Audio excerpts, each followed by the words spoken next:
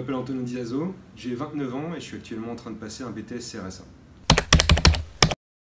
C'est conception et réalisation des systèmes automatiques. C'est la conception des, bah, équipements automatisés. Donc euh, ça va aller de la conception mécanique avec euh, dimensionnement, des pièces, euh, dessins techniques, etc.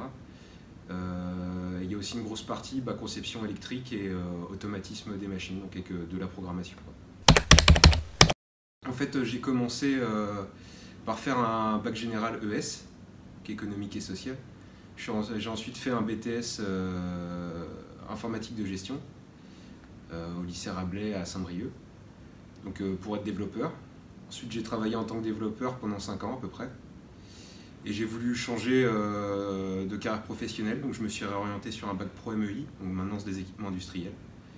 Et aujourd'hui, bah, je suis en train de passer un BTS RSA. Bah, pour moi, du coup, vu mon parcours, c'était euh, plutôt logique de me diriger là-dessus. Euh, d'autant plus que, euh, voilà, bah, au centre de formation à Plérin, on fait des formations en alternance. Et l'entreprise dans laquelle je suis, je suis dans un service maintenance. Donc pour la partie vraiment pratique manuelle, je l'ai déjà en entreprise. Donc je voulais plus améliorer ma, la partie théorique. Et donc bah, tout ce qui est programmation, conception mécanique et tout. Moi, je travaillais à Farmor, à Saint-Agathon. C'est une usine agroalimentaire euh, qui fait des produits à base de, à base de, à base de poulet principalement.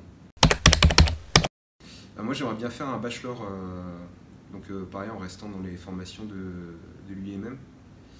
Donc un bachelor en maintenance avancée. De la rigueur, c'est évidemment. Et puis, pas être trop sujet à la pression. Après, c'est dans le cas où on, on est euh, technicien de maintenance parce qu'on dépanne des machines. Donc des fois on va dépanner des machines, il y a, tout le monde qui est en train de regarder derrière, bah, justement les opérateurs des machines qui eux attendent et bah, pendant qu'on dépanne, euh, eux ils sont là en train de regarder, euh, ça met un peu la pression, donc voilà, faut, faut pouvoir accepter ça. Quoi.